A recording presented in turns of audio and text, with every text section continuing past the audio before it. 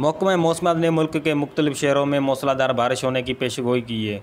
महकमा मौसमात के मुताबिक कश्मीर, गिलगित, बल्तिस्तान, खैबर पख्तूखा पंजाब, इस्लामाबाद, शुमाल मशरकी, जनूबी बलूचिस्तान और बालाई जनूब मशरकी सिंध में तेज़ हवाओं और गरज चमक के साथ बारिश होने का इम्कान है। ताहम बालाई, खैबर पख्तूखा खता पुटवार और वस्ती पंजाब में चंद मकाम पर मौसलाधार बारिश होने की तो है। इस्लामाबाद और गिरदनवा में तेज़ हवाओं और गरज चमक के साथ मजीद बारिश होने का इम्कान है।